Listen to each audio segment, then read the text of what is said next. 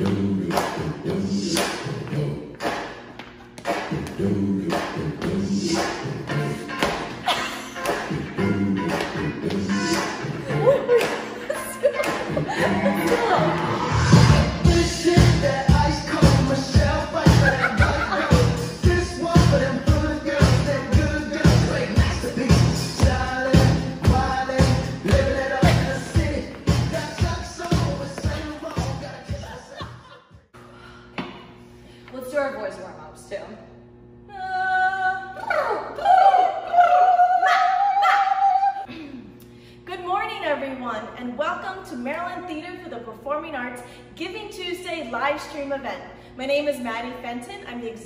Director at MTPA, and with me today is our creator of this event, Gemma Lehner, our Director of Programming. Good morning, everybody. We are so excited to have you here with us on this Global Day of Giving. Our goal today is to raise $10,000 to update Stage 1, our outdoor performing arts venue in Annapolis. Over the past nine months, Stage 1 has been utilized by over 28 different arts organizations for performances, rehearsals, classes, retreats, and even meetings. The venue is already booked throughout the spring and summer of 2021. But in order to better meet the needs of our arts community, Stage 1 needs a few updates, and we need your help. A select group of MTPA board members have pledged to match up to $5,000 of the collective funds raised by 9 p.m. tonight, so every dollar counts. Today we invite you to join us on YouTube for 12 full hours of performances, classes, Q&A sessions, and more. Just use this link to follow us throughout the day for live updates. Here's how you can help. The first thing you can do is make a charitable contribution online or call the MTPA office and make a pledge.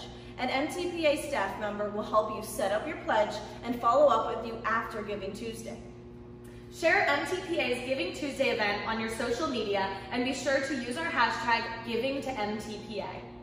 Maryland Theater for the Performing Arts is dedicated to providing equitable and accessible arts programming in the DMV while raising the funds to build Annapolis' first state-of-the-art cultural venue. And with your help, we can continue to achieve this mission, even during the most challenging of times. Please enjoy this short video with more information about this amazing project. Please note MTPA will soon be MC3, the Maryland Cultural and Conference Center. So sit back, relax, and enjoy the show. Annapolis asked for it, and with your help, we will build it. Introducing MC3, the Maryland Conference and Cultural Center, at Park Place, West Street and Taylor Avenue, in the heart of the Annapolis Arts and Entertainment District. MC3 is designed by globally recognized architect Gary Martinez and features a 1,200 seat flexible multi use space, perfect for any form of business or entertainment event conferences, trade shows, banquets, theater, concerts, graduations, and weddings. In addition to multiple breakout and meeting rooms, MC3 will also include an additional 300 seat multi use auditorium. Included in the design will be the Veterans Overlook, providing a panoramic view of the historic Annapolis National Cemetery. The Veterans Overlook commemorates and honors the service and sacrifice of all members and veterans of the United States Armed Forces. MC3 also plans to provide facilities for the Warrior Music Foundation, which offers free music therapy to wounded veterans. And there's more. We're also planning a brand new home for the Compass Rose Theater Company and a large interactive display area reflecting the living heritage and diversity of Annapolis and the region.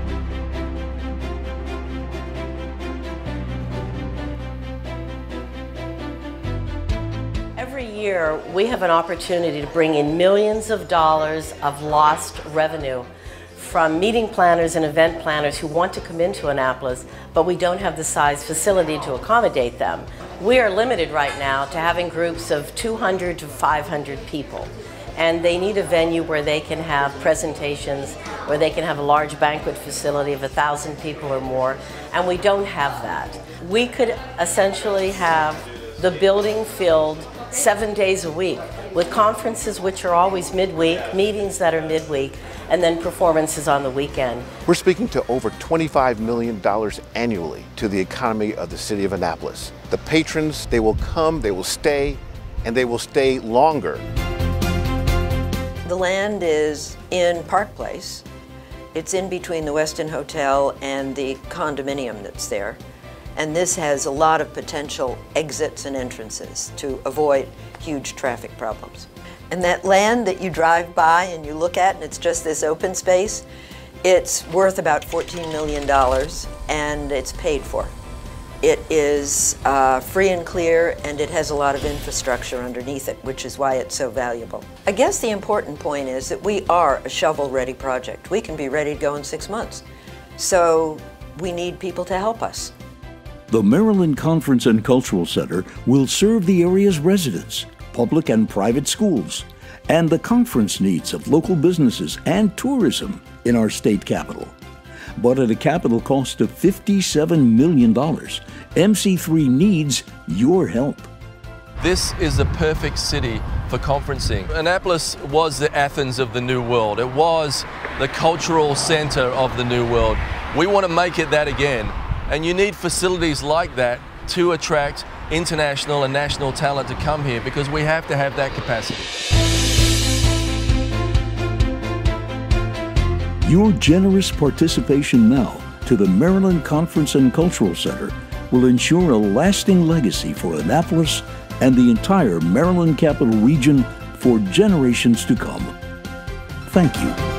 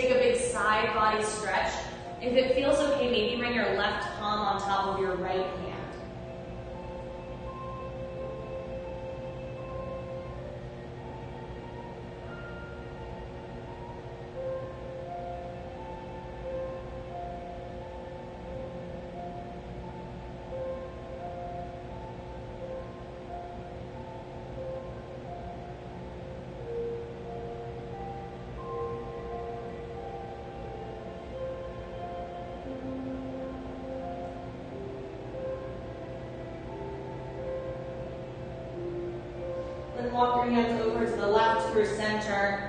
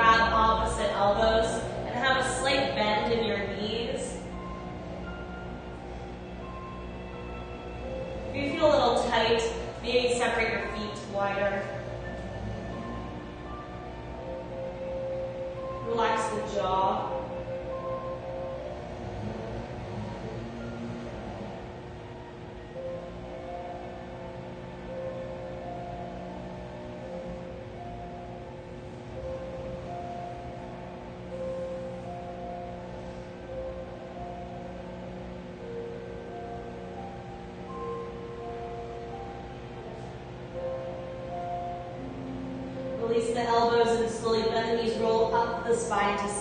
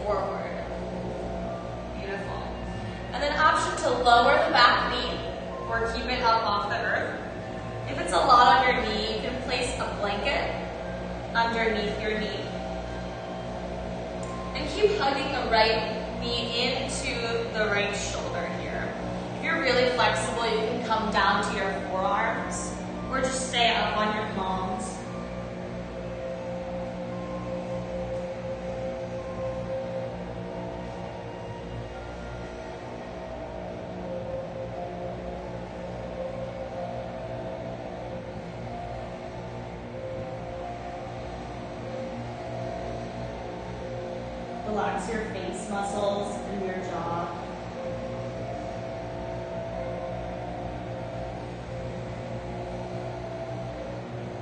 So you come back up to your palms if you're on your forearms, and then reach your right hand up to the sky and take a big twist.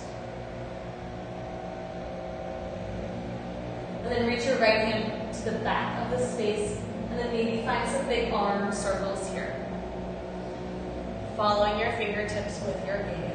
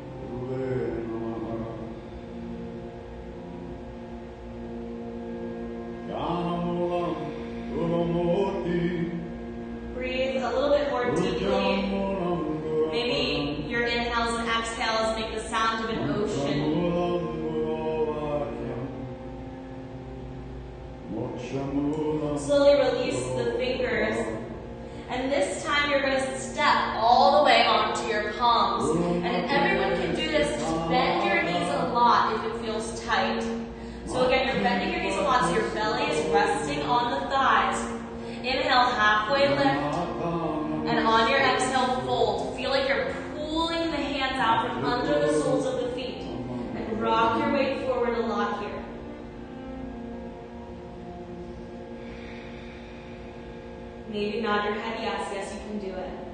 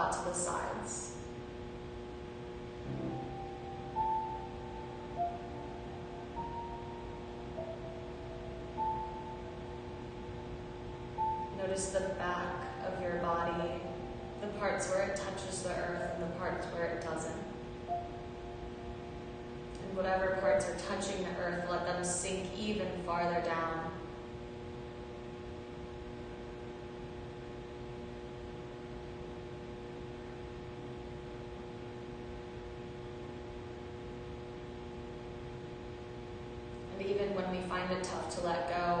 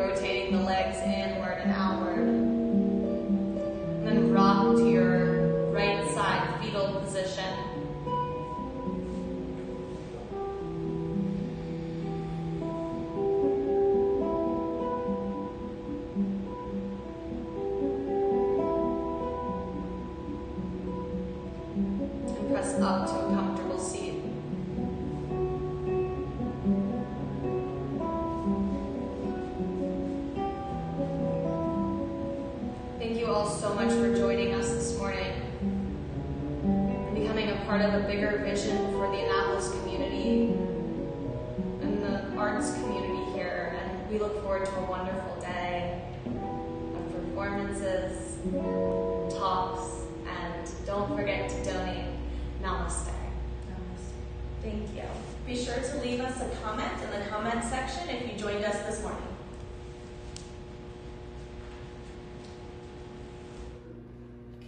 We are excited to share with you an exclusive interview with MTPA's architect and president of OTJ Architects, Gary Martinez. Gary Martinez has developed an internationally recognized expertise in the design of sustainable performing and cultural arts centers. Working with leading institutions which present performing arts across the country, as well as producers and promoters of touring live entertainment, Gary has developed a unique expertise in the understanding and creation of multi-use theatrical venues. I'd like to introduce Gary Martinez. He's a world-renowned architect who has created many notable venues like the Cincinnati Music Hall, the Hudson Theater, and the Filene Center at Wolf Trap, just to name a few. Gary, could you tell us a bit about your background? Sure, Gemma. Good morning. It's nice to be here with you. Uh, yes, well, I've been practicing architecture now for 40 years, and 35 of them have been in the arena of performing arts and cultural arts. So the buildings that you mentioned are some of our favorite theaters that we've uh, worked on across the country and globally. Uh, in particular, the Cincinnati Music Hall was just an amazing project, and it really uh, reminded me a lot of some of the things that we've been talking about for Annapolis. That's awesome. So, how long have you lived in Annapolis? And since you've been here, have you seen a need in the community for this type of venue? So I've been here 13 years myself. Uh, my family has lived here for about 45 years. And uh, the city has changed quite a bit uh, in that time, the city and the region. Everything has grown quite, quite a bit, quite large, and there's been an influx of a lot of new people into the area. Um, as far as the cultural needs in the city, I think that Annapolis has so much to offer. Um, in, in other arenas that sometimes we forget about the cultural arts to a certain degree.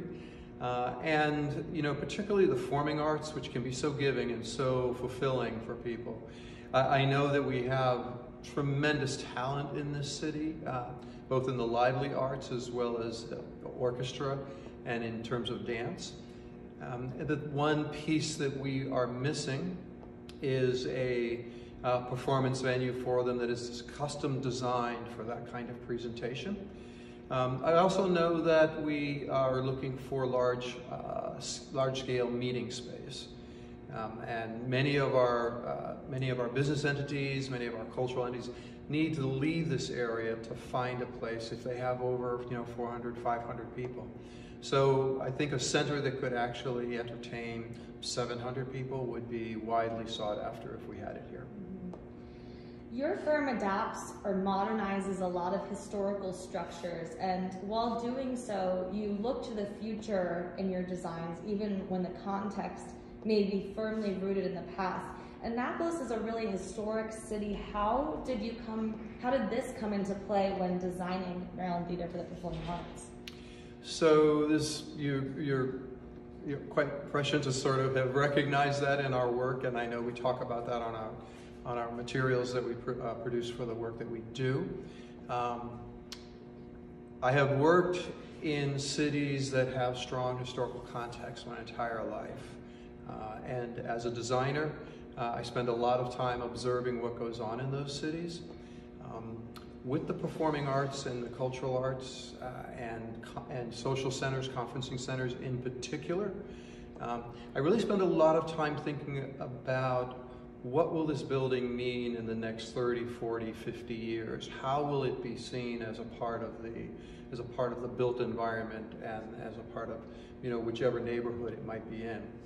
Um, so when we say we look to the future, what we're thinking about is a building that is compatible in terms of its style, in terms of its scale and texture, with the historic background in which it might be located. Um, we also recognize that as society changes, different buildings take on different meanings. And so we like to make our buildings as flexible as we possibly can so that they stay useful and they stay relevant to community needs and community desires. Um, I think with this particular site that we have for the, uh, for the Cultural Center, um, it's really important that it not only recognize historic Annapolis, but it as a gateway to the entire city, uh, that it really let people and visitors know that Annapolis is a growing entity and that we're all looking towards the future. Awesome. Can you talk a little bit about your inspiration when designing the building? Well, this building was informed pretty specifically by a number of icons that sort of exist here in Annapolis and basically in the Chesapeake region. Primarily, uh, we were thinking about light as a metaphor for the project. Light being translucent, light being revealing, light uh, opening up new passages and, and, new experiences for us. And in many respects, um, as we gather together socially, we learn more about each other, we understand each other better. Uh, those become new experiences for us. As we partake in uh, entertainment and, uh, and uh, uh, the lively arts or music and dance, those particular art forms are incredibly supportive and enhancing to sort of the human experience. And light shines the way for us, if you will. And so as we began to think about the building, we wanted to incorporate that in a very significant way in the design of the structure. So for all of the main entrances, both at Taylor Avenue and along Park Place, um, we use these cube-like lantern-type structures. Um, if you think of a cut glass lantern, if you think of the Fresnel lens, which is in a lighthouse, it's that kind of design idiom that we're hoping to capture. But we're trying to do it in a way that's a little bit subtle, not, it's, you know, we don't want it to be a lighthouse. We just want to use that particular feature and that notion to show that the building really stands for enlightenment, knowledge, experience, and, and just an opening up to the world. Awesome. And the building is going to include a flexible theater. Can you talk a little bit about a flexible space and what that means? Sure. Uh, so flexibility is, again, another one of those kind of primary design characteristics that we work with. Um, I think it's pretty well known that uh, these kinds of centers uh, sometimes struggle to remain viable. Um, and in our experience over the last 35 years, what we have found is that if we can imbue the structure with a high degree of flexibility, so that it can do many different kinds of things. And what we're looking for at this center is to be able to take it from a conferencing venue to a presentation venue and make that a very seamless, very easy transition. There are motorized systems uh, for seating, for instance, that could be incorporated into this, um, into this facility where at the push of a button, uh, you would go from, say, a flat floor that might have been a banquet hall the night before to a tiered seating venue for a conference, for a TED Talk, for any kind of speaker that might come along, or for a show, for uh, whether it be it film or dance or music, uh, any one of those things. So, so when we look at how to reinforce the, the building's vitality and viability well into the future, we look at trying to sort of put these kinds of very flexible systems into the structure.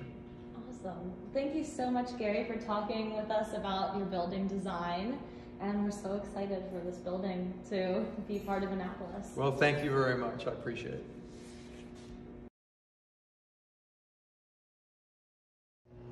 Music can heal the wounds that medicine cannot touch. In 2019, MTPA established a pivotal partnership with the Warrior Music Foundation, a local nonprofit organization that aims to improve mental health in the military community by offering free music therapy and lessons to active duty military, veterans, and their families. Founder and president of Warrior Music Foundation, Mike Kimona, is a U.S. Navy veteran who is deployed across the globe, started Warrior Music Foundation when he saw firsthand the impact combat was having on the military community. Having lost too many military friends to suicide, he gathered a team of musicians, therapists, veterans, and community advocates dedicated to eliminating suicide in their ranks.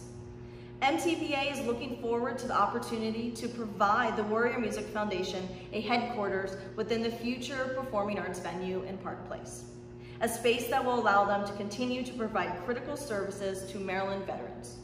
Check out this short video to learn more about this amazing organization.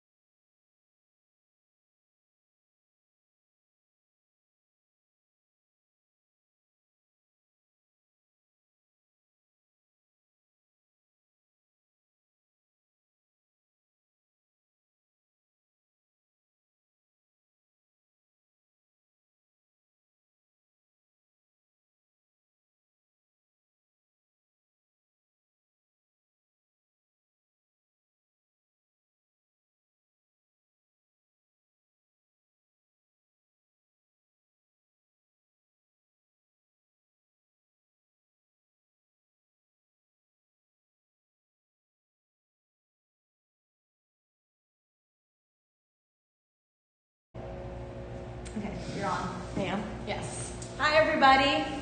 Again, my name is Maddie Fenton. I'm the current executive director here at Maryland Theater for the Performing Arts. And thank you so much for joining us for our live stream all day Giving Tuesday event. Woo! So, a few years ago, I remember looking around our MTPA office and I realized that something was missing. So, we are an arts organization, but we didn't have any art in here. So, in 2018, um, myself, along with some of our board members and volunteers, we decided to transform our office space here into a community flex space, and part of that included a new professional art gallery. So our first artist to ever exhibit at our gallery was everyone's local favorite artist, Sydney Barry Sullivan. Since then, We have had over 18 other artists exhibit here at MTPA, and thanks to the support of the Anne Arundel County Arts Council, we have a full schedule of visual artists booked at the gallery until late 2021.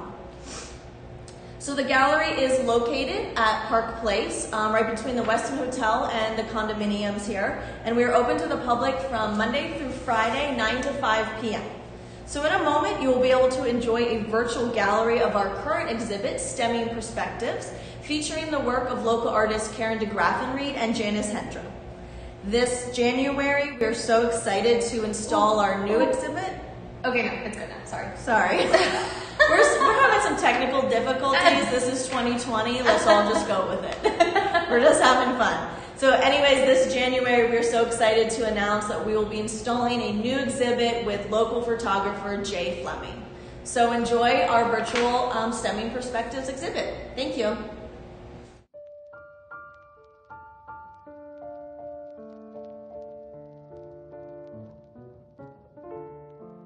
Janice Hendra grew up in Detroit and took advantage of every chance she got to attend select art classes at the Detroit Institute of Arts throughout high school. Every Saturday, the DIA was her playground, and being surrounded by Diego Rivera murals and European masterworks instilled a reverence for painting and painters that to this day fills her with awe. Janice received a BA in Fine Arts and Art History from Michigan State University and worked as a studio potter for many years until her life took a sharp turn. She discovered that computers and programming fascinated her and became a systems analyst. For the next 30 years, her creative outlet was designing IT solutions for the General Assembly of Maryland. Now, retired from that career, Janice immerses herself fully in the visual arts, with paint being her expressive tool of choice.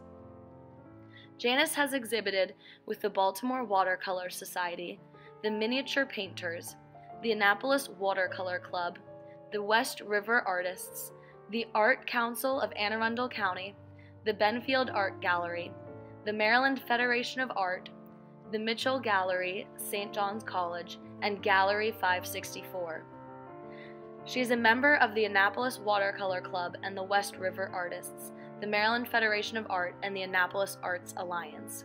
Her wish is for you to enjoy her efforts and hopefully feel a connection as she did with the subject of each piece. Learn more about Janice Hendra at janicehendra.com.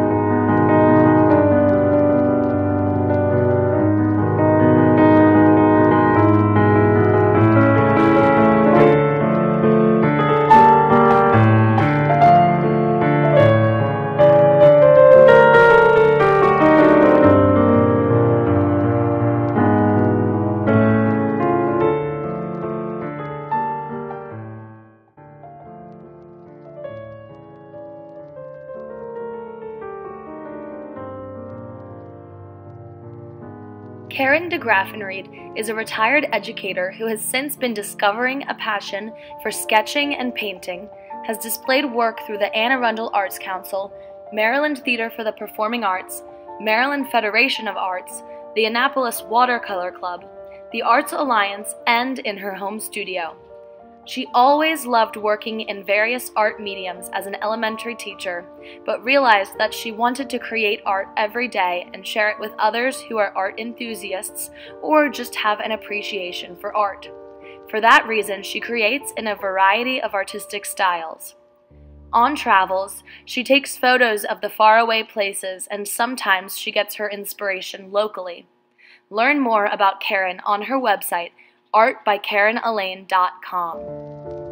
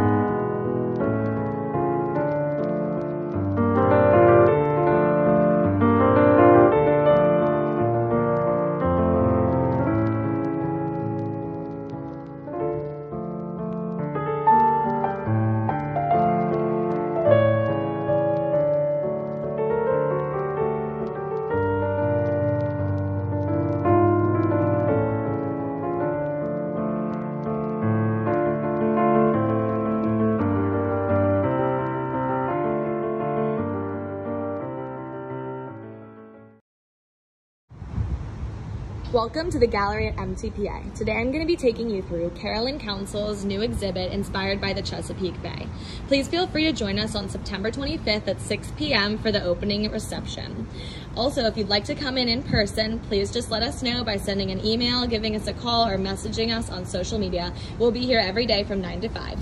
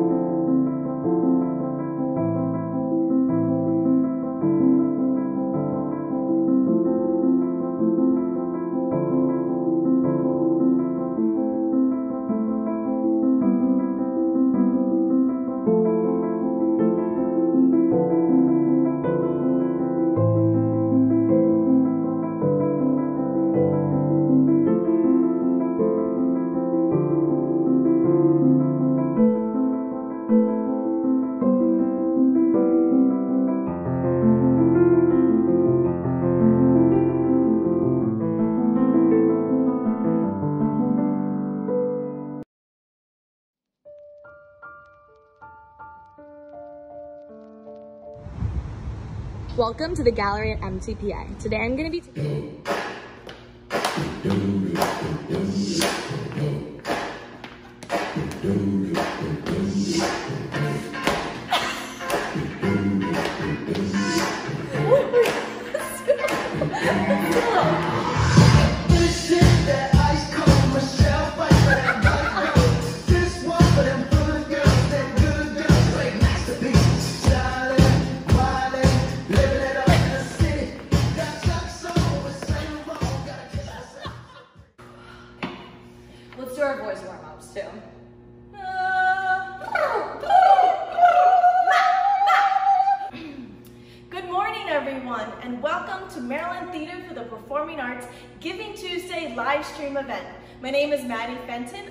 Executive Director at MTPA, and with me today is our creator of this event, Gemma Lehner, our Director of Programming. Good morning, everybody. We are so excited to have you here with us on this global day of giving. Our goal today is to raise $10,000 to update Stage 1, our outdoor performing arts venue in Annapolis.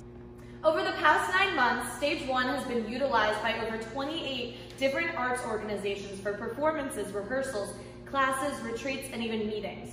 The venue is already booked throughout the spring and summer of 2021. But in order to better meet the needs of our arts community, Stage 1 needs a few updates, and we need your help.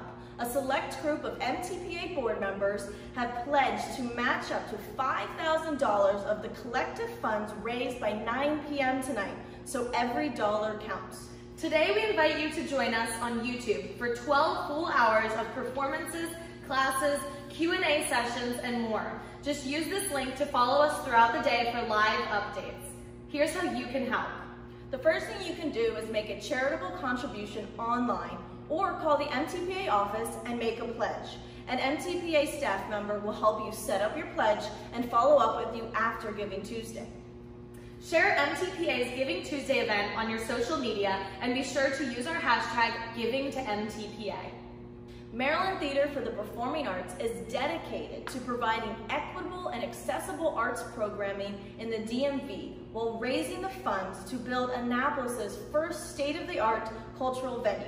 And with your help, we can continue to achieve this mission, even during the most challenging of times. Please enjoy the short video with more information about this amazing project.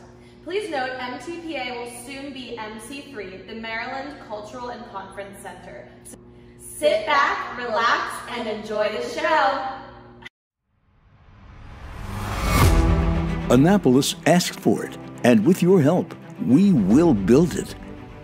Introducing MC3, the Maryland Conference and Cultural Center, at Park Place, West Street and Taylor Avenue, in the heart of the Annapolis Arts and Entertainment District. MC3 is designed by globally recognized architect Gary Martinez and features a 1,200 seat flexible multi use space, perfect for any form of business or entertainment event conferences, trade shows, banquets, theater, concerts, graduations, and weddings. In addition to multiple breakout and meeting rooms, MC3 will also include an additional 300 seat multi use auditorium. Included in the design will be the Veterans Overlook, providing a panoramic view of the historic Annapolis National Cemetery. The Veterans Overlook commemorates and honors the service and sacrifice of all members and veterans of the United States Armed Forces.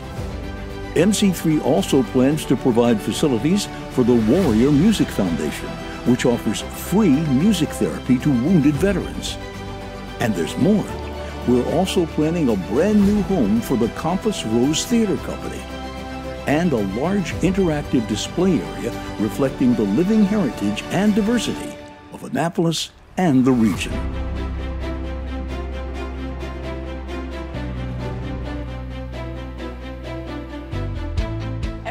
Year, we have an opportunity to bring in millions of dollars of lost revenue from meeting planners and event planners who want to come into Annapolis, but we don't have the size facility to accommodate them.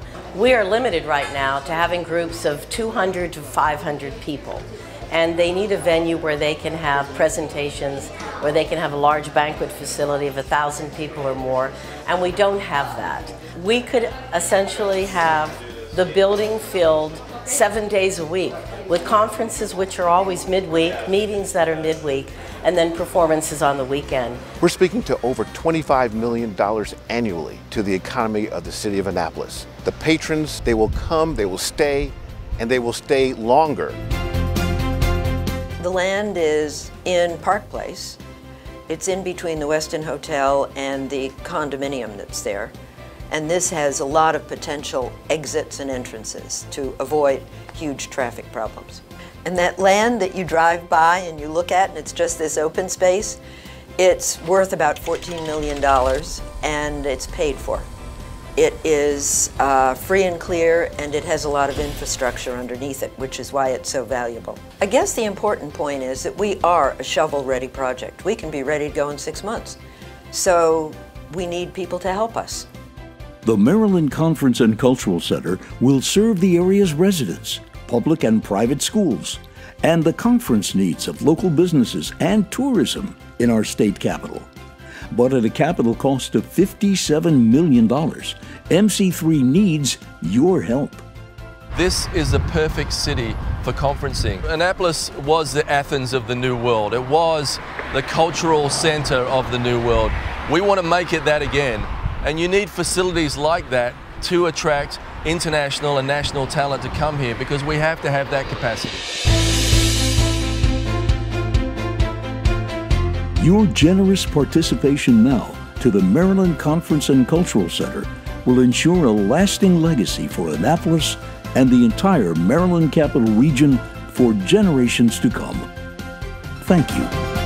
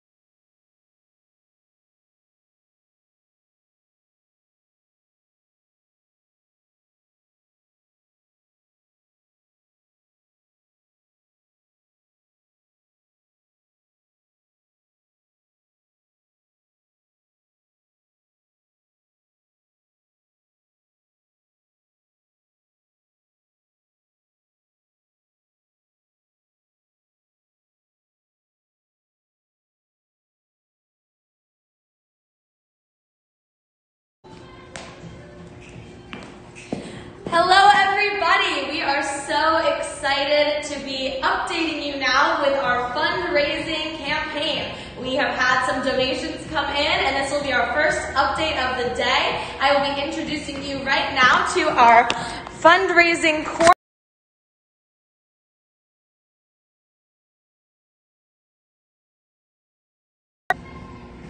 Okay, Maddie Fenton in the fundraising corner. Take it off.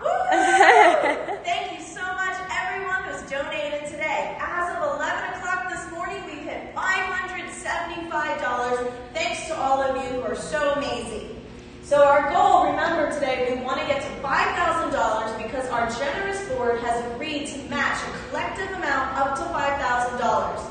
Gemma, can you remind us what we're going to use this money for? Sure. Hold on one second while I move the camera back.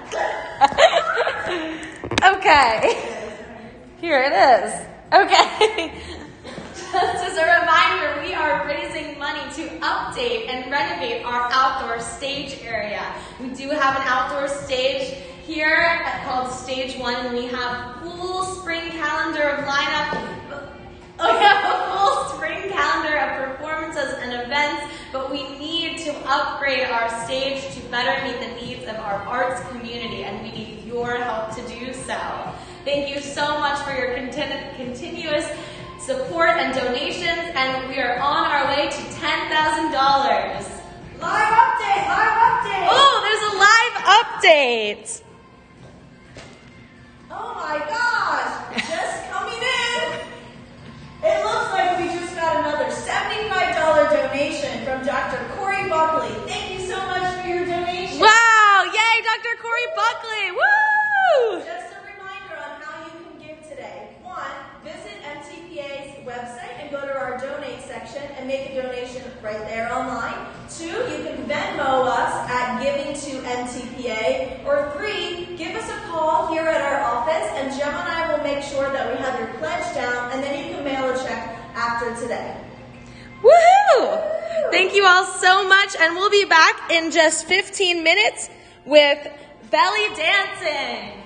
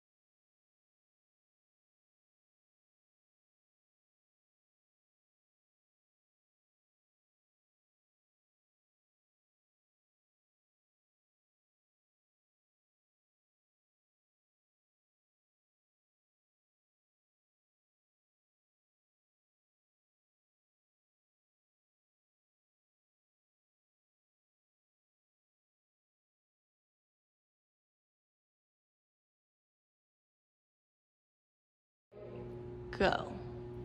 MTPA's volunteers are the backbone of our organization. They help with fundraising, events, administrative work, and most importantly, they help spread the word about the mission of our organization. If you are interested in becoming a volunteer for MTPA, please send us a message or fill in our volunteer application on our website. In our next segment, we are excited to spotlight a performance featuring one of our favorite volunteers, Della. Della is a member of Zhakara Dance Company, a fusion dance collaborative troupe. Comprised of versatile dancers from a variety of backgrounds, Zhakara incorporates elements from many approaches to dance, including traditional dances of the Middle East, classic American cabaret, modern transnational, and free-form improvisation to create a wide range of playful and theatrical dance pieces.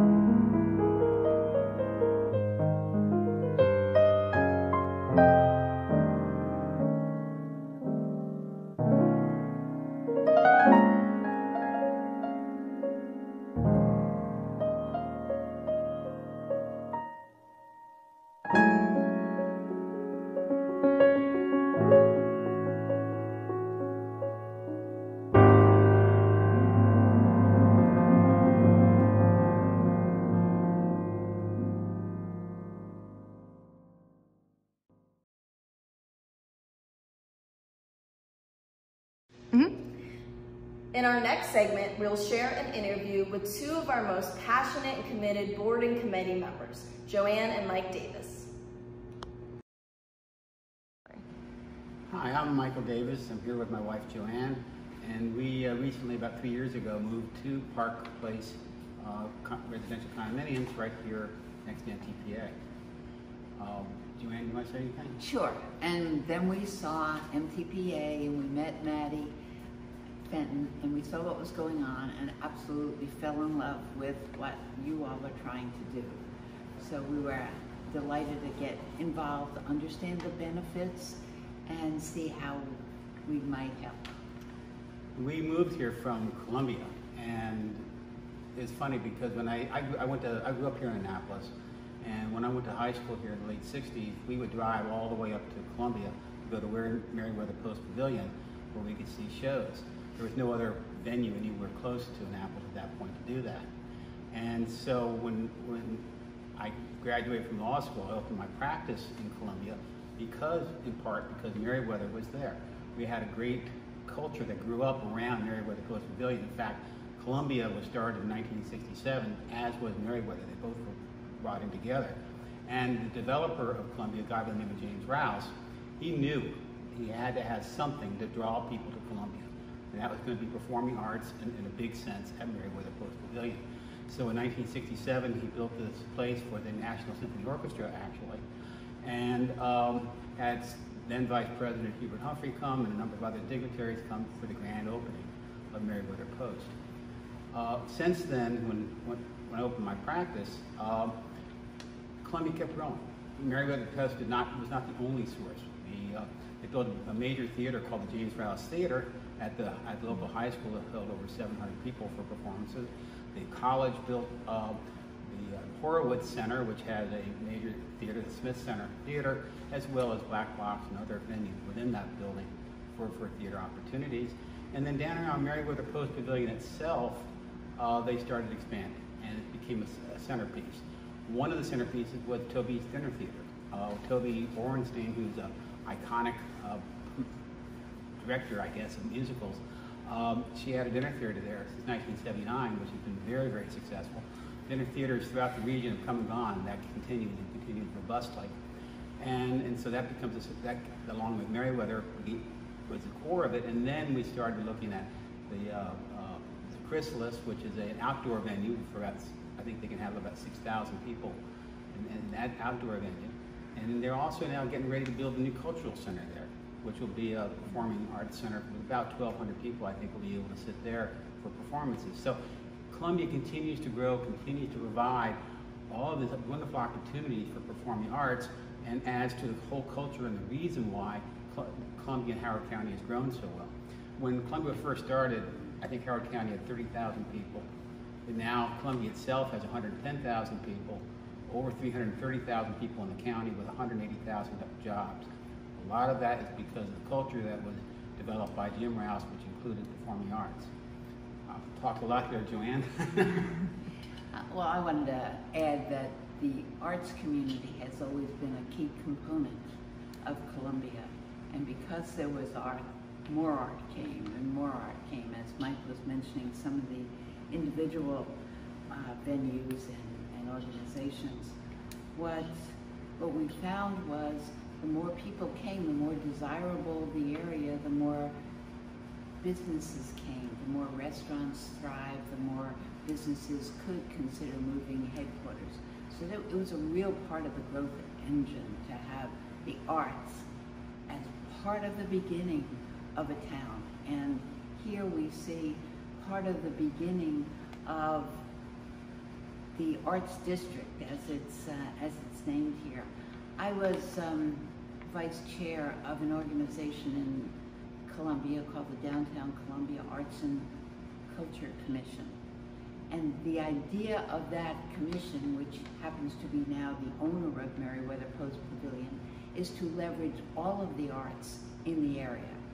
I see the arts uh, the Arts Council here, the Annapolis Arts District, naming the area from Church Street to Church Circle to uh, Westgate Circle as being all part of what could be a little bit like Columbia is now, because we will support many different venues, many different activities. The more you have, the more you can do.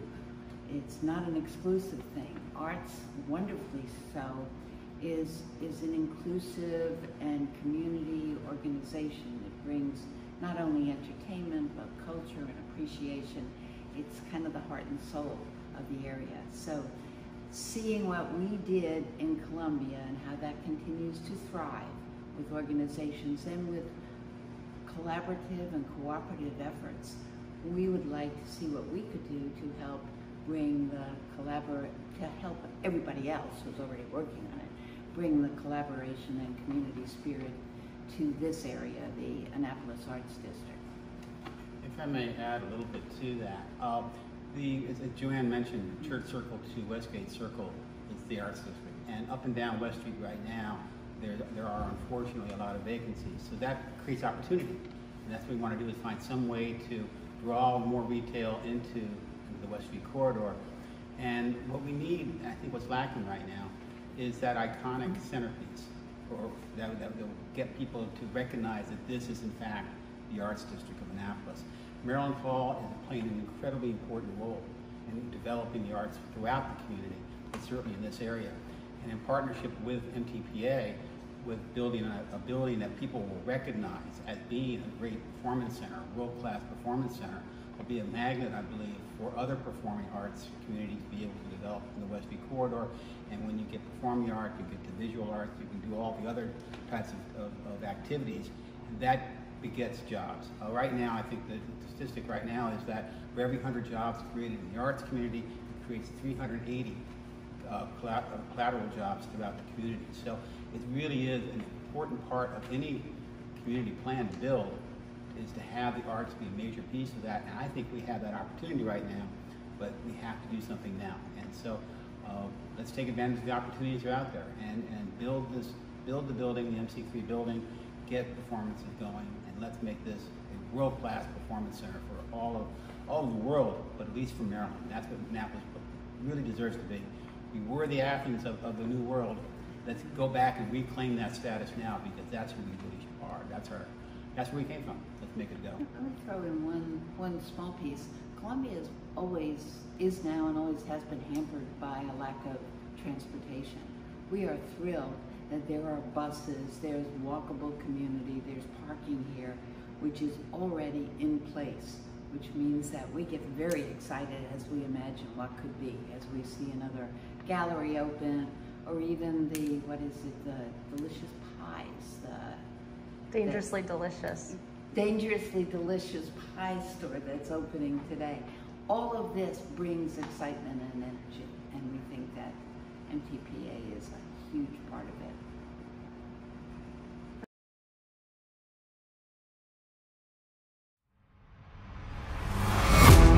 Annapolis asked for it, and with your help, we will build it. Introducing MC3, the Maryland Conference and Cultural Center, at Park Place, West Street and Taylor Avenue, in the heart of the Annapolis Arts and Entertainment District. MC3 is designed by globally recognized architect Gary Martinez and features a 1,200 seat flexible multi use space, perfect for any form of business or entertainment event conferences, trade shows, banquets, theater, concerts, graduations, and weddings. In addition to multiple breakout and meeting rooms, MC3 will also include an additional 300 seat multi use auditorium. Included in the design will be the Veterans Overlook, providing a panoramic view of the historic Annapolis National Cemetery. The Veterans Overlook commemorates and honors the service and sacrifice of all members and veterans of the United States Armed Forces. MC3 also plans to provide facilities for the Warrior Music Foundation, which offers free music therapy to wounded veterans. And there's more. We're also planning a brand new home for the Compass Rose Theater Company and a large interactive display area reflecting the living heritage and diversity of Annapolis and the region.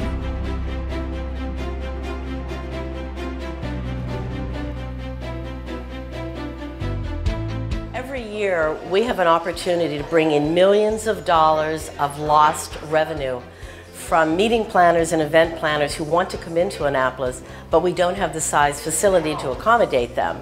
We are limited right now to having groups of 200 to 500 people. And they need a venue where they can have presentations, where they can have a large banquet facility of a 1,000 people or more, and we don't have that. We could essentially have the building filled seven days a week with conferences which are always midweek, meetings that are midweek, and then performances on the weekend. We're speaking to over $25 million annually to the economy of the city of Annapolis. The patrons, they will come, they will stay, and they will stay longer. The land is in Park Place. It's in between the Westin Hotel and the condominium that's there. And this has a lot of potential exits and entrances to avoid huge traffic problems. And that land that you drive by and you look at and it's just this open space, it's worth about $14 million and it's paid for. It is uh, free and clear and it has a lot of infrastructure underneath it, which is why it's so valuable. I guess the important point is that we are a shovel-ready project. We can be ready to go in six months. So we need people to help us. The Maryland Conference and Cultural Center will serve the area's residents public and private schools, and the conference needs of local businesses and tourism in our state capital. But at a capital cost of $57 million, MC3 needs your help. This is the perfect city for conferencing. Annapolis was the Athens of the New World. It was the cultural center of the New World. We want to make it that again. And you need facilities like that to attract international and national talent to come here because we have to have that capacity. Your generous participation now to the Maryland Conference and Cultural Center will ensure a lasting legacy for Annapolis and the entire Maryland Capital Region for generations to come. Thank you.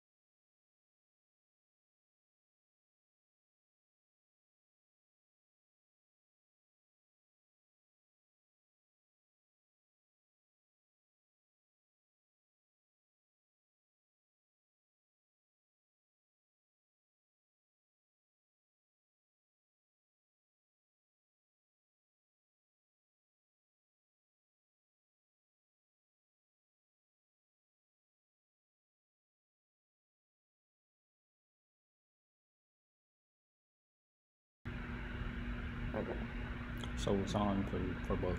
Yeah. Okay. Um, oh, Eric's here.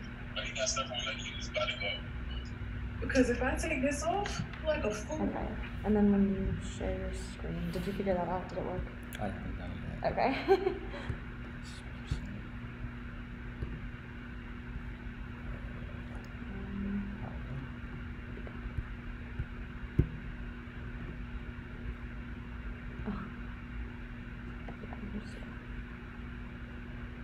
Oh, sorry. Zoom. Zoom will not be able to record the contents of your screen until it is quit. Oh my god. I don't know. One minute later? Okay, now will it work?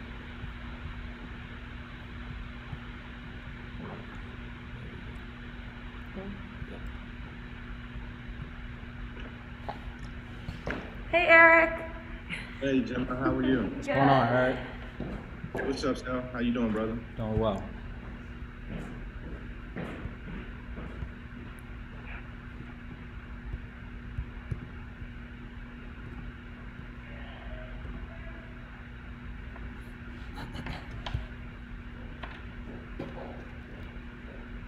All right, we still have about four minutes before we get started. Sounds good.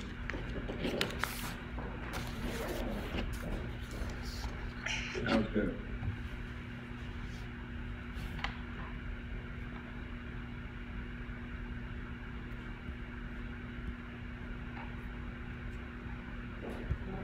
Oh, is the record button on from your side? Say it again. Uh, hit the record button for the side. So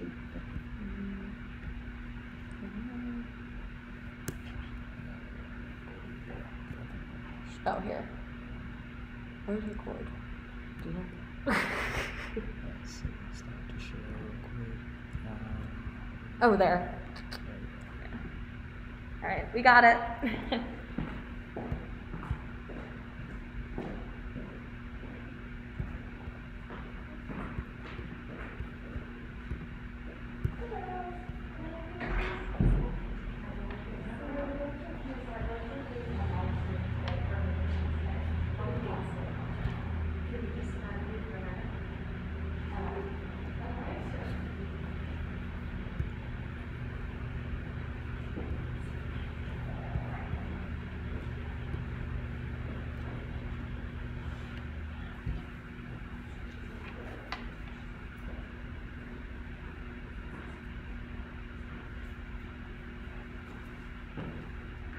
All right, we have two minutes remaining before we're gonna get started.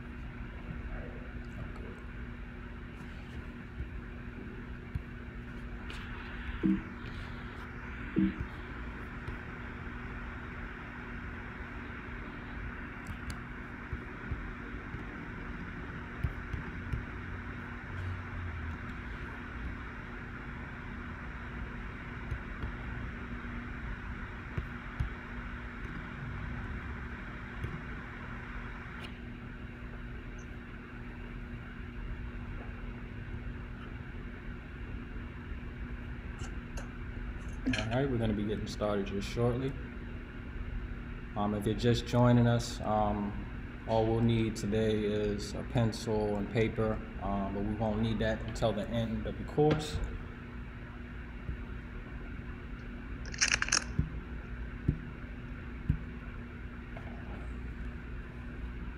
Hey, Mrs. Grant. Hey, good afternoon. How's everybody doing? Hello, how you doing today? Doing all right. How you feeling? Going well. You guys see my face? Hey, Dr. Elston. Hey, how you doing? Hey, Miss Turner, how are you? All right, so we're at one o'clock and we can go ahead and get started. All right, so I'm just gonna be sharing my screen for the first part of the class. Um, and we're gonna, gonna be doing an official introduction. Um, Gemma, did you wanna talk about MC3 at all? No. Okay, okay, so we're not gonna get into that. All right, so let me just share my screen with you guys.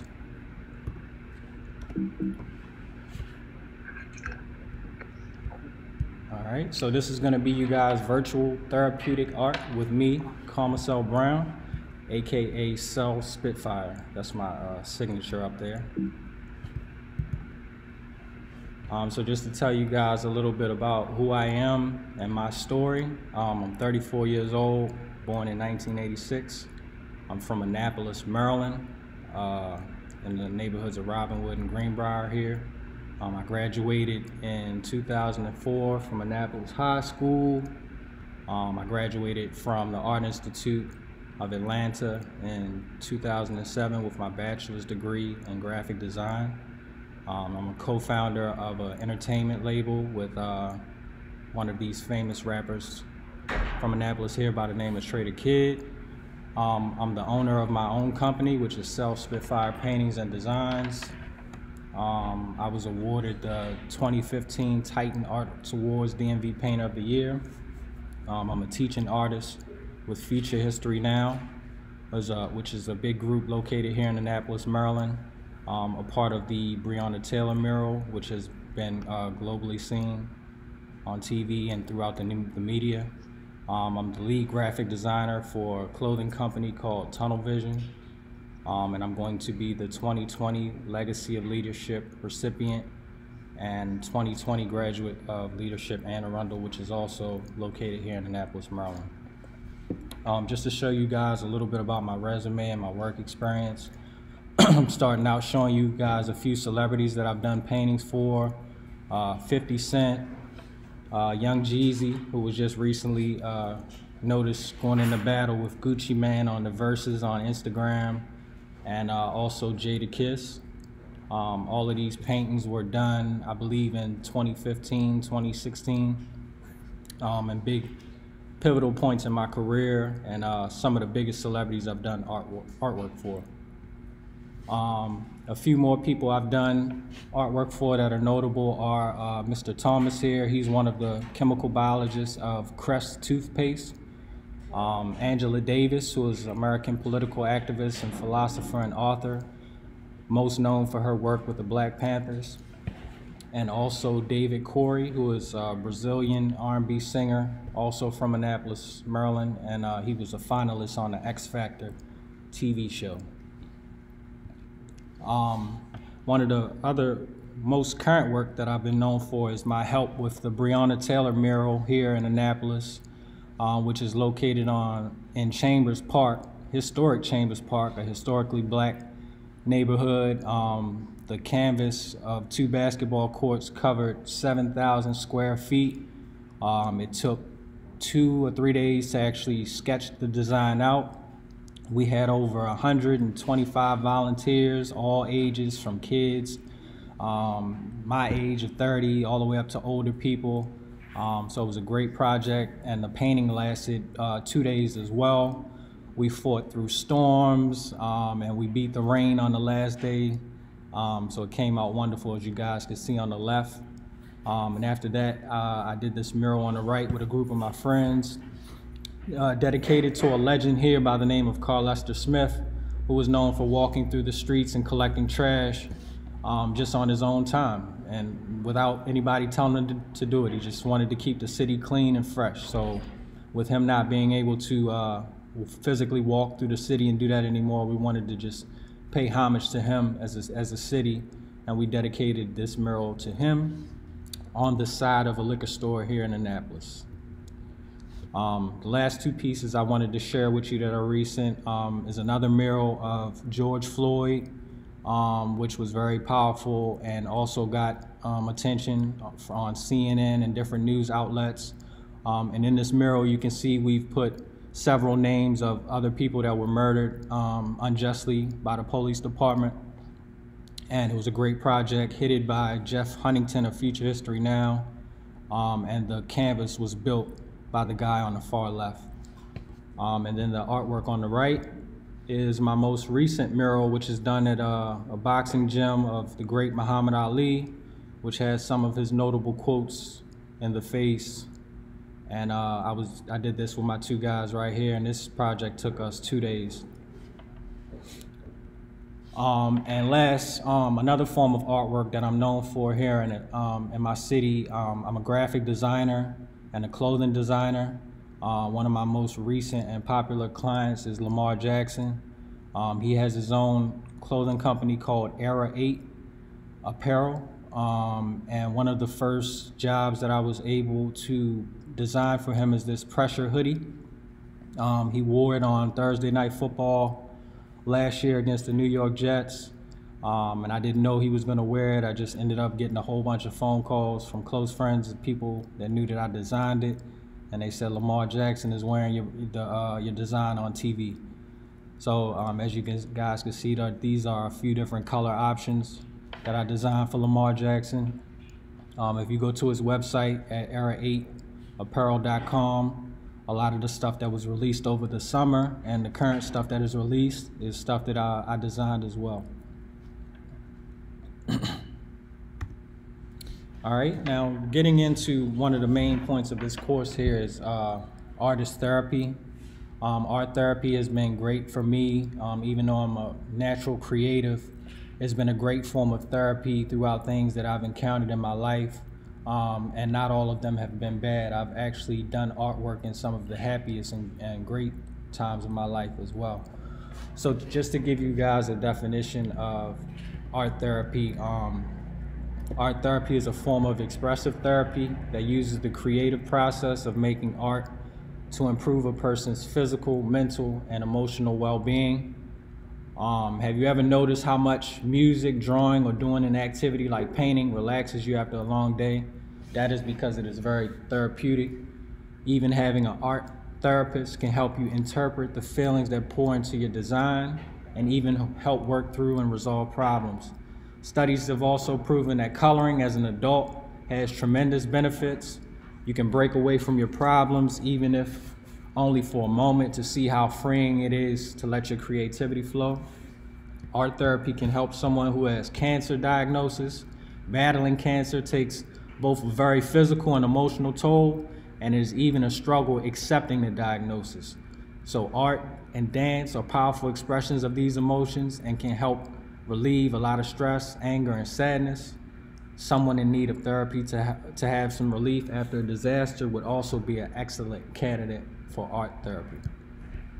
So that's just telling you guys a little bit about what art therapy is. Um, art therapy activities are an excellent tool to support people who need help expressing themselves. Art is a form of communication Art therapy allows those who may not have the ability to verbally communicate through their trauma, emotional state, anxiety, conflicts, hopes, issues, concerns, or fears express their feelings through various art mediums.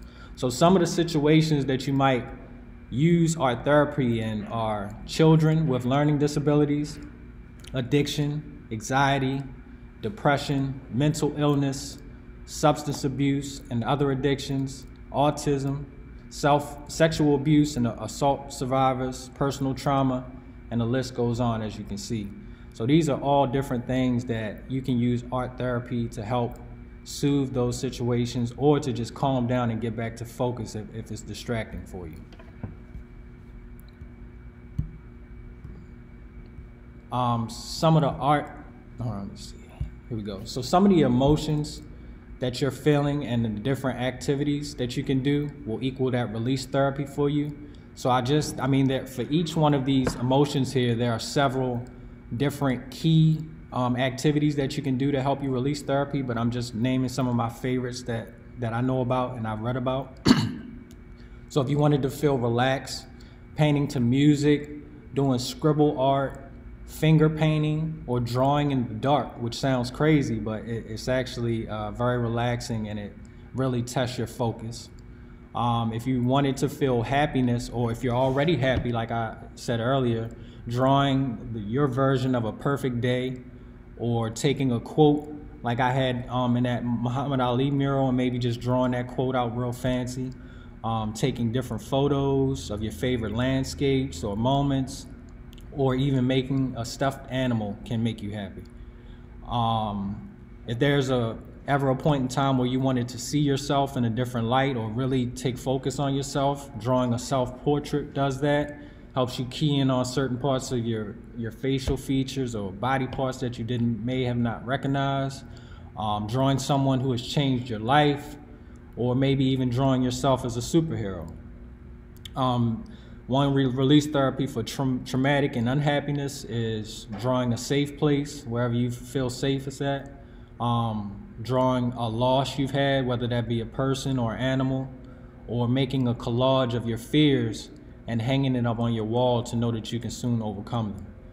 Um, for the people that don't know how to draw or don't like to draw, some of the things that you can do are making a collage of photos or magazine clippings, a mood board, or even painting a mask. If for the people that are looking to know their self a little bit better, you can paint the different sides of yourself, maybe the good sides and some of your bad qualities or things that you're working on. Um, one of this this uh, next one is pretty cool that I think I'm gonna try soon, which is draw yourself as a tree with your roots being your strengths and leaves as things you want to change about yourself. And I think that'll really give you insight on who you are and who you want to become. Um, if you would like to show gratitude to people um, or maybe an organization that have helped you out, you can make something nice for someone you appreciate. Or um, if you want to show gratitude to yourself or encourage yourself, you can paint rocks with words of encouragement. Um, and, and lastly, working collaboratively. Art can be better when two work at it together. So finding a partner and collaborating on just about anything. Um, and in most of those projects that you saw, previously, um, a lot of those were collaborative projects done with organizations or nonprofits, people all with the same goal in mind, wanting to do something positive. Um, and in the case of the Breonna Taylor mural and George Floyd, uh, we hope that with painting the art and leaving it out for the public to see, that it could have been very soothing um, at a very try trying time in 2020 with the pandemic and also all of the uh, injustice going on. So we just really wanted to soothe the public and open up the conversation by putting some of these artworks out there. So for the uh, exercise that we're gonna be doing today, I'm gonna show you guys which is called the grid process. Um, and this process was taught to be taught to me by one of my art mentors. Um, it's one of the, the processes I use when I'm doing murals, paintings on canvases or even just a, a, piece of paper to really test test the theory of it and just to make sure that my drawings are accurate. Um, the grid method involves drawing a grid over your reference photo, which you guys can see on the far right. That was the picture of the guy that we were painting, uh, Carl Lester, for this mural. Um, and as you can see, the blue lines represent the grid. Um, and even though in that picture there, it's not the same as the wall. This is where you have to use in your math skills and just pretty much come up with the measurement of each box depending on how big you would want your portrait to be. So for this exercise, um, you guys could use a picture of yourself that you may have already in your phones. Um, you can take a selfie of yourself. Um, and I would recommend downloading, uh, it's a grid app. If you look on your uh, app store, the grid app allows you to either take a live picture or pull a picture from your, your library and put the grid over top of it, over, over, over top of it. And you can change the opacity to make it light or darker. Um, you can see here I'm showing an example of actually a, a, portrait of myself at the mural site where we did the Carl Lester mural but for the drawing, I just want to focus on a close-up of myself. So I cropped it out of what I wanted to draw exactly. And then on the far right is the white, the white piece of paper that you would redraw this drawing on. So I'll give you guys just a moment to kind of get that. Let me take my screen out for a minute.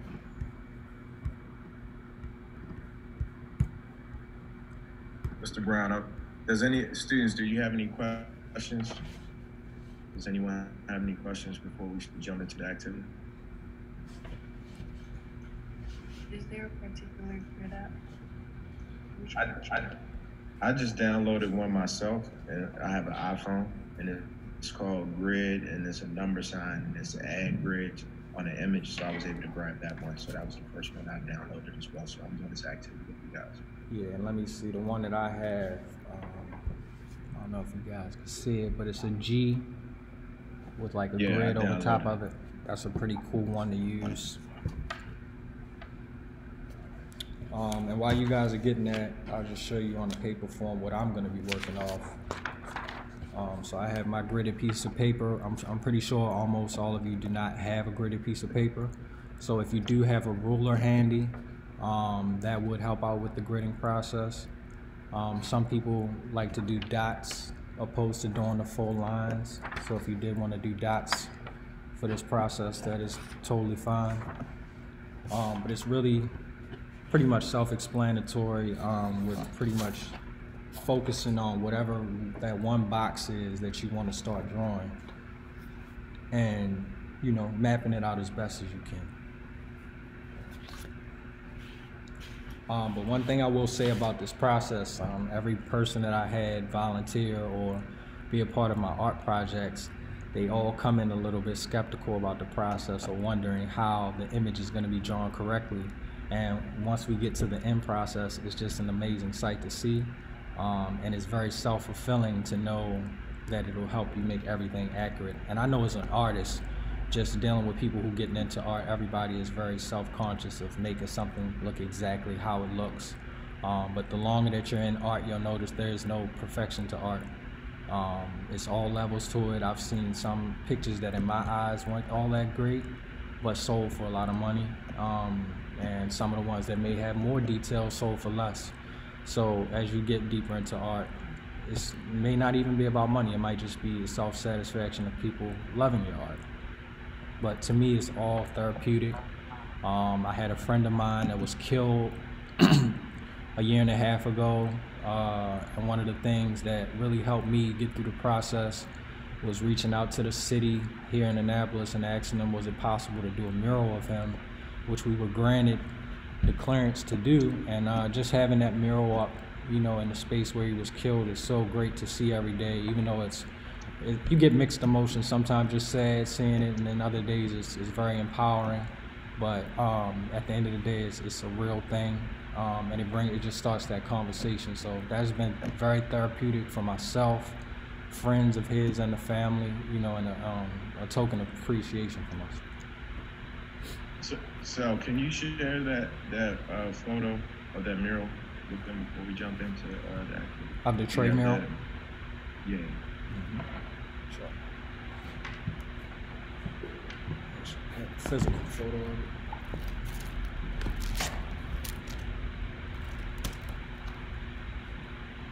Might be easier.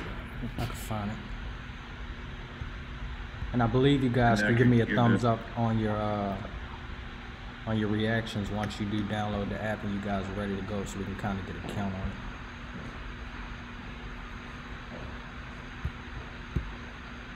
Yeah, just one moment, Eric. I'm pulling that up. Man. You're doing a good job, Mrs. Grant. I'm trying to be a good student. I'm trying to learn today. I'm trying to learn today. That's,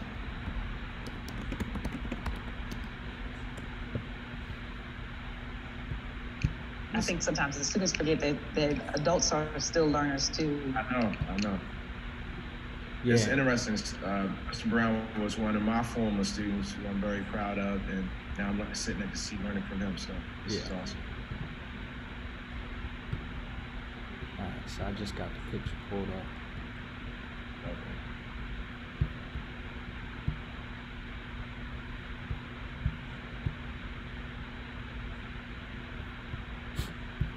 Well, Dr. Elson, that would make you how?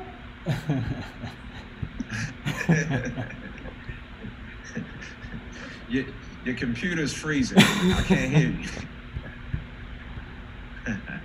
All right, guys. So this is a Facebook post of uh, the picture of my friend Can you see it? Yeah. So this is it here. It was led by this guy here with the orange shirt on, Jeff Huntington, um, and me and my friend D were pretty much standing by, helping out with a lot of the lettering. And this was actually one of my first uh, mural projects that I, I, happened to be a fly on the wall. I sat back and watched for most of the process. Um, I just did some of the small details and additions to it, like the logo here on his shirt. There's some words going up above her shoulder, and then the logo on the hat. But uh, again, this is one of my favorite projects, therapeutic. Eric, you see you on the top right here one of the people that liked it. so yeah, that, that, that was that picture right there. so I'm assuming that everybody's pretty much ready to go with their photos. Um, the one thing I would say is if you're using a ruler to do marks of maybe an inch or half an inch each square, um, and while you're doing the grid, try to do it as light as possible. Um, in the case of you having to erase or if you want to be able to look at your drawing correctly without the lines throwing you off.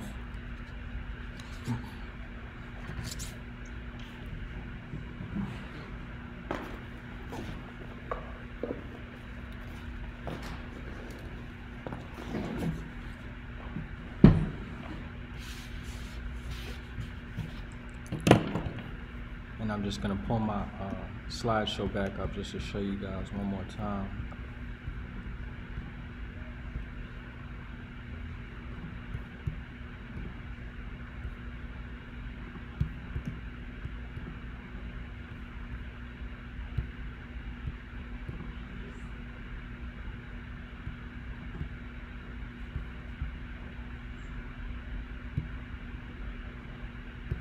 All right.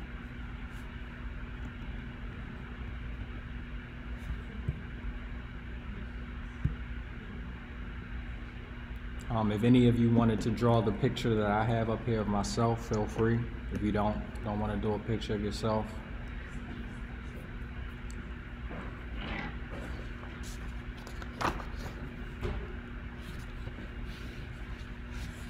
And do we have any questions while we're going about the process of doing your drawing? Please feel free to chime in at any moment. I'll be right here standing by. Um, I guess we could time you guys for about 10 to 15 minutes and then we can check in. Maybe some of you guys could share your screen with me and show me what you have so far of yourself.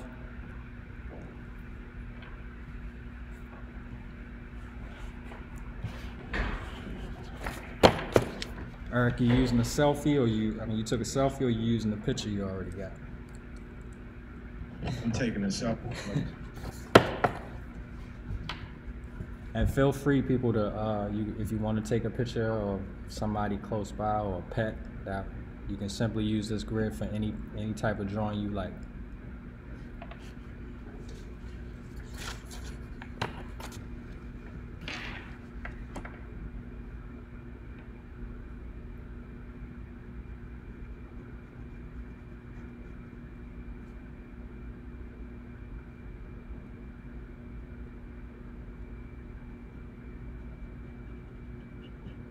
The key for this is really just to focus on one box at a time. Um, for me, I like to do I do the whole entire outline of the person through the boxes and then come back in and do the detail. But please feel free if you like to do all the detail in one box and move on to the next one, you can do that as well. There's no right or wrong way outside of just making sure it's as, as accurate as possible to the grid on the picture.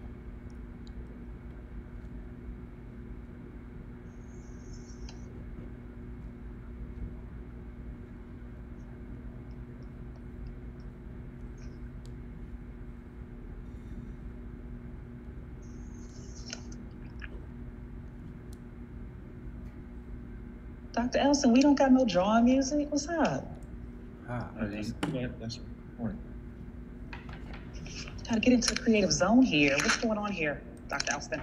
Let me see if I can get us some music.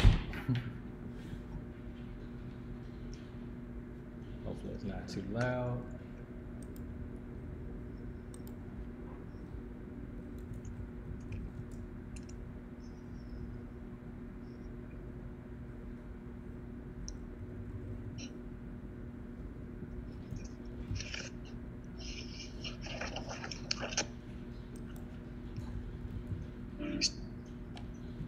A bright brain full of activity Say it again. to help. Nah, that was my music. Oh, okay. Shouldn't know.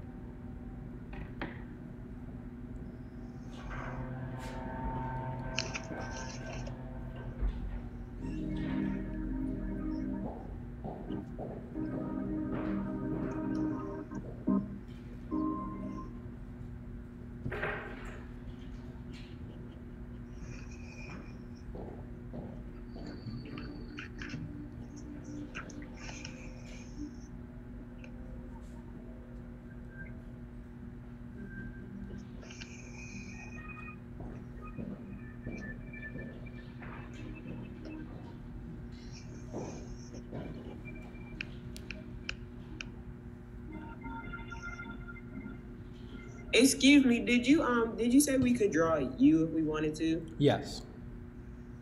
Okay. Especially because I'm, I'm pretty sure that can be easy for a lot of you that are already doing Zoom on your phones and you may not have another device to look at. So if that's the case, um, yeah, do whatever's easiest for you.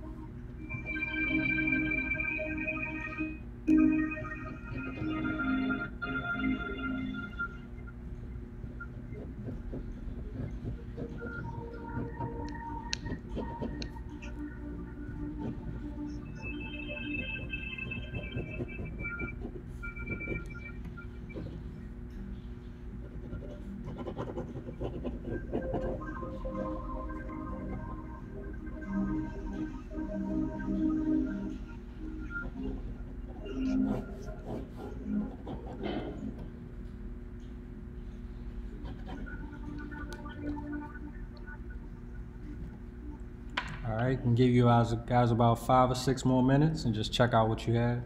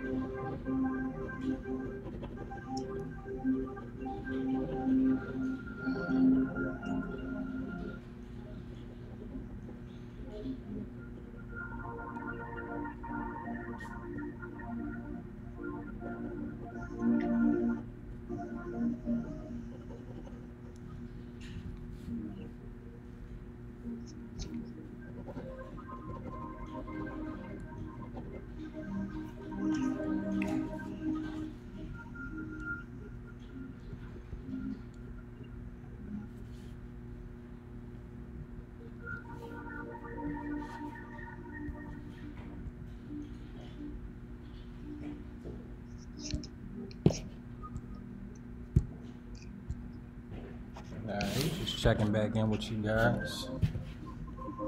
How you doing over there, E? Looking good. I just about. Like an artist. You sensitive about your stuff. So let me ask you this: With this being your first time trying this method, does it seem like it make your your uh, image look a lot more accurate with what you're drawing?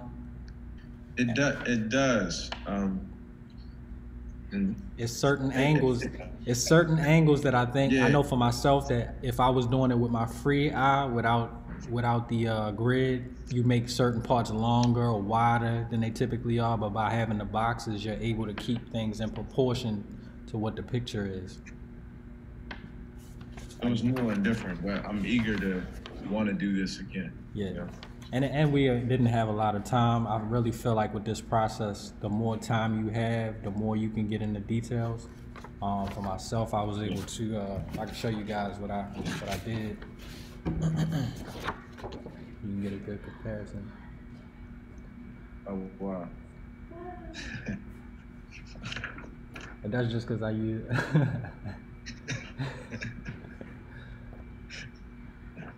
He's an artist. so anybody else want to share this so I can see? Share mine. Let me check it out. See, this is my picture. I did. hmm And my grid, I think, was off, but that was. Yeah.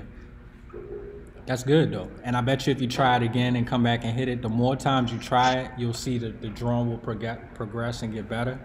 Because when you first, I I just feel like when you first try it, you're more so rushing. Again, we don't have a lot of time we were working with, but the more time you have, and to be honest, on a bigger space like a wall or a really big canvas, that's where this is really helpful. Um, it's actually harder to do it on a piece of paper on a smaller scale because I think our hands are tend or prone to uh, do larger shapes. So you have to really discipline yourself to do smaller shapes with a small piece of paper. But when you're doing it on a wall or a really big canvas, it's a lot easier and you can see the process unfold right before your eyes.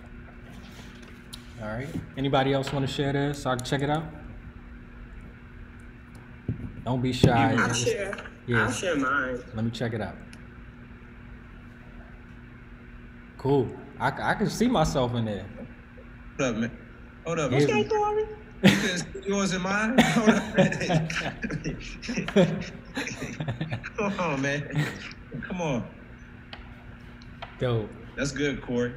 That's aw- Thank you. awesome. Hmm. Thank Appreciate you for Thank sharing, Corey. Anybody else? I could share mine. Okay, now, now, let's check it out. Oh, wow, that's awesome. Yes. Nice. Nice. Can you hold it up one more time?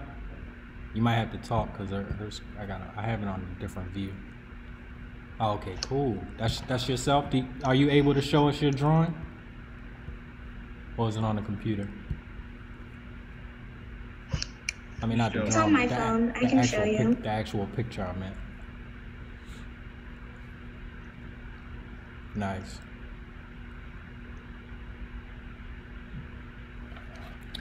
Now let me ask you guys this: outside of the accuracy of your drawing, how do you feel? You feel a little bit relaxed? Did you feel yourself really zoned out in that time to where you? Did anybody else feel like me where you forgot you were on a Zoom call, where you were really zoomed in? And that's what this exercise can do for you. Really, is just about taking your mind away from everything around you, and it really just puts you in a deep focused state where you can just put your mind on other things and the different exercises that you try out um, based off what I talked about earlier, you can pinpoint certain emotions that you have, and if you want to break out of those, you use those specific um, exercises. And feel free, um, a lot of those I found by just Googling art therapy exercises. Um, and there are a lot of cool websites out there that'll break down some of the different colors that you should use um, if you want to give off a certain emotion with your drawings or paintings. Uh, colors, uh, when you engage with colors, they give you all sort of different emotions. So it's very good to do the research on what colors give you uh, certain emotions. So even if you ever had a chance or you want to decide to paint your room, you know exactly what color to paint it, whether it be for yourself or a child. You know exactly what vibe the room is going to give off when you're done. But um, we're coming towards the end of our time. They have another live um, broadcast that they're going to do. I just would like to thank you all for giving me this opportunity. Feel free to follow me on social media at Cell Spitfire, and I'll put that in the, uh, the chat. Um, I'm always putting up cool artwork, um, giving the people insight to my creative process. Okay, here we go. And so we, we look forward to uh, having you back and uh, building more capacity and relationships with the students. Uh, I will actually talk to our principal about to see if we could get you in the building to actually do a mural in Frederick Douglass. Okay. And then, you know, we actually uh, keep the students abreast to our movements for our project that we're doing with MC3 in Annapolis on the uh, mural wall Okay. there on the Western Hill. And let me see, I think, oh, okay, here it is. I was, I was looking at the questions and the, uh, if anybody had any questions that they didn't feel comfortable with speaking on the camera, feel free to type it in the chat. Um, I just put my social media and my website there. Um, you can check it out.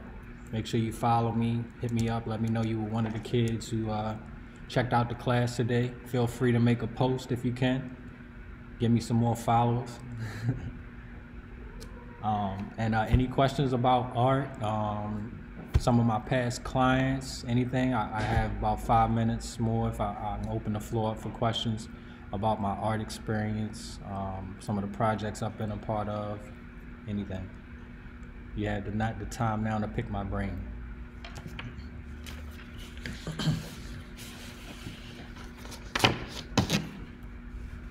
So I have one for you. You know, a lot of your, uh, you know, I've been following you through the years, and we have a, a, a brotherly bond. Uh, if you could share with the uh, students, like, you know, a lot of these opportunities you had to get outside of your comfort zone and reach towards, you know, can you share some of those, just a, a glimpse or a, a snippet of some of those anxiety, anxieties or fears that you have to overcome to step out to reach out to some of the celebrities and some of the influencers that you did projects with? Yeah, um, what I will say is almost every project that I've done um, that has gotten bigger over the time has made me nervous or, uh, you know, put my back against the wall where I really had to show who I was. Um, so if you, I feel like if you believe in yourself and your talent, go hard with it. Don't be afraid to expose yourself to people. Um, I, I tend to deal with a lot of people starting up their businesses when I'm creating a logo for them. And I tend to see a lot of people are afraid to really put themselves out there. They're afraid of failure. Um, failure doesn't make or break you, it builds you up stronger. Um, so I would just encourage you all to really follow your dreams on whatever that may be. Put a lot of effort into it. Um, do your research about it um, so you can see if there's some things about it that you may need to work on or just get more expertise on. Um, but what to answer specifically about a project that had me that way was the Carl Lester project. That was my first project um, that I had to be the lead designer on. So I was in control of the design itself. I was in control of the team of artists that was a part of it with me. Um, I had to negotiate um, a budget on how much we needed to be able to do the project. And I also had to make a, the list of supplies. So it was just a lot of duties um, and a list of things that I had to make sure I was checking and crossing my T's and dotting my I's. Um, but it, it made the best out of me. Um, the ending results was a great mural. Uh, I was able to meet Carl Lester's family. Me and my team were all awarded with citations from the mayor of the city, um, and we made it on the front page of uh, the Baltimore Times. So, you know, with everything that has made me nervous or brought me fear, the more hard work I put into it, the the results that came back back from it were tenfold. So, again, always bet on yourself. Um, feel strong in what you're doing, and and just go with your heart. Um, there's another question down at the bottom. How has art enhanced gratitude in your life? How has it helped you stay connected th- during the pandemic? Um, art has enhanced gratitude um, because I know what it took to get here. Um, from the outside looking in, showing you guys all of my accolades, it may look like it was easy work, but there were a lot of pitfalls, um, struggles, and mountains that I had to climb to get here um, with the help of people like Eric Elston, mentors and different organizations and people that I just asked for help for. It helped helped me learn a lot more and made things a lot easier. Um, and one of the ways that I've been able to stay connected through the pandemic is using Zoom um, and engaging with different people and students like yourself, spreading my knowledge. Like one thing about me um, coming up that I always despised was me asking for help or for direction and people not really giving me any of that. So I always made a promise to myself that when I got to this point, I would share as much insight and knowledge as I could to get, because I didn't like the feeling that I got when I asked people for help. So I'm an open book. You guys have my social media if you ever need any um, encouragement, advice, or tips with starting your business, doing artwork, or any things of that nature. Feel free to reach out. Um, I'm pretty sure I have a lot of life experiences I could share that you can connect with. From growing up with no mom, not really having my dad in my life. My uh, mom passed away the year that I graduated college, actually. So it's just a lot of life experiences I, have uh, been through that made me the person that I am today. Awesome. Well, thank you for uh, sharing with us, Commissar Brown. Um, I'm proud of you, brother. You inspire me. Thank you, sir. now you uh, created a, uh, almost like an in-building rivalry with uh, Nurse Graham and I, so we're gonna be working on our art skills and. Uh, cool. And Got you beat. Say you name. But this is very exciting, so I appreciate you taking time and um, pouring into the youngsters bucket. And, you know, no problem. All of those um, individuals that are out there for Giving Tuesday, don't get MC3 could uh, definitely use your support. And, you know, we're excited to uh, get back in the community. So thank you. And everyone have a blessed day. Yep. And you kids, man, you guys make sure you're going hard. I know it's tough due to this pandemic, staying focused, having to be confined to your bedrooms and your homes, but soak up all the knowledge that you guys are getting right now. Um, enjoy the home time working from home. Um, as an adult, I actually enjoy it. Um, it's a, a, couple hurdles there, but enjoy it because uh, hopefully next year we'll be back to normal. But don't get discouraged. Stay focused. Make sure you guys are excelling, constantly learning. You got a computer and phones right at your hands. Use it, and let's get to work. Thank you guys so much for being with us today. Have a great rest of your day. All right, take care. Have a rest. Have a great rest of your day. Have a good day. Yeah, awesome. Okay. And then just.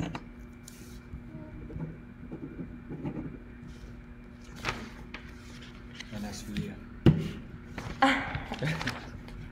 oh my gosh, it's amazing. This is so cool. I love that. Yeah. I love that so much. That was awesome. Okay. I think they they must have loved it. How Yeah. were their pictures at the end? I didn't They were pretty them. cool. It was only uh, three kids that showed theirs. Two of them drew me.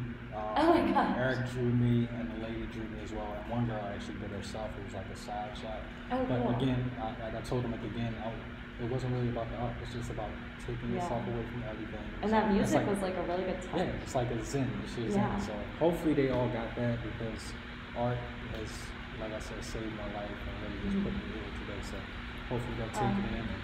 Well, thank you so much for doing that. I think that was awesome. I love I love doing stuff like that with the kids because, uh, like I said, just from the, the college that I selected, the Art Institute.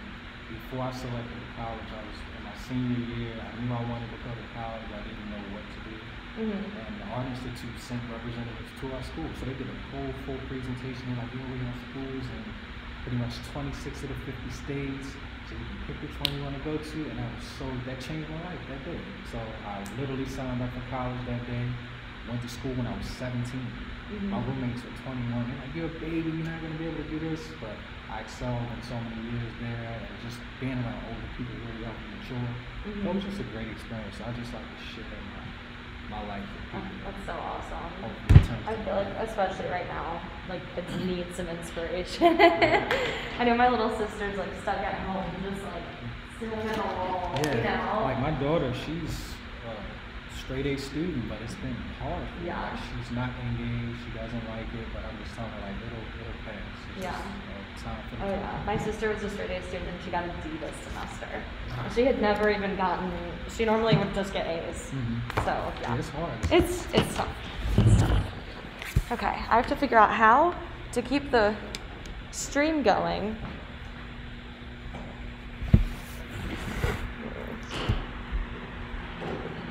Do you think I should just kind of walk over there and like hope it doesn't? It's gonna go away. I know, but what do you think like is the best way to do it? To use your hotspot on the phone. That's what you're gonna try, right? Yeah. Here's your donut. Yeah. Did you eat yours? No, I didn't eat one yet. Mm. I got one for. Well, I don't really like strawberry. Oh, okay. Do you want it? No, I don't want it. Okay. Thank you so much. That was awesome. I was watching it on my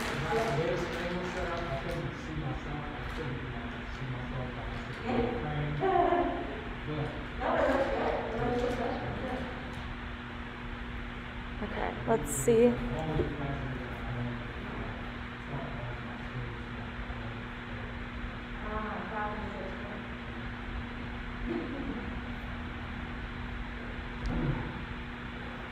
Yeah, so when this is over, or actually, I think it's not now, we can actually go back and watch it. Mhm.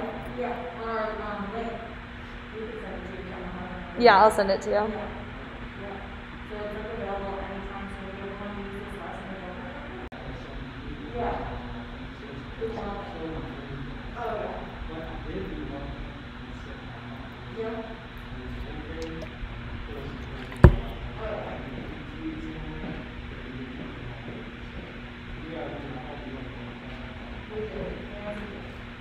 Yes, I'm gonna I'm gonna message you to set up a meeting anyways because I have so many things that I want to talk to you about the mural and the lighting and yeah. So if we could set up another class. Thank you so much. I know I'm gonna put it on my desk. I love it. I'm sorry I have to run. Um. Yes. Yeah. Come by whenever you're, you whenever. Yeah. Thank you. Thank you. All right, should I just go?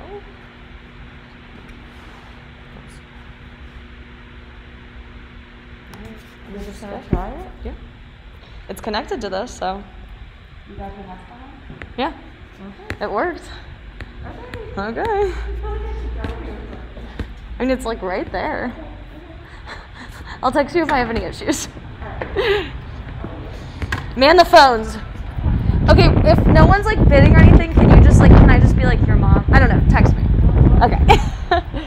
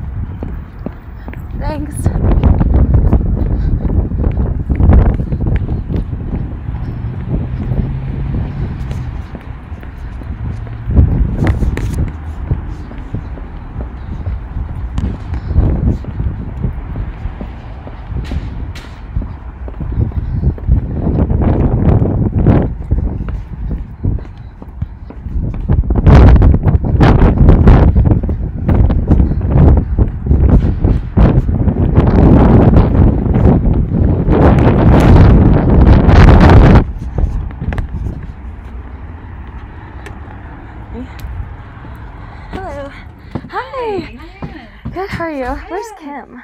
She's if you go through that doorway. Okay. Just take a right and then take. Will I film there, like where she is now? Yes. Okay, Yes, cool. we have a- Hi. we have a space set up for you. Oh yay! It looks so great in here. You look. You got your masks? Yeah. Oh, I love them. Oh my goodness. It's been a day. Oh, oh my gosh. So I'll record this so you can like keep it too. Oh yeah. Okay, cool. I'll set this up like right here. Okay.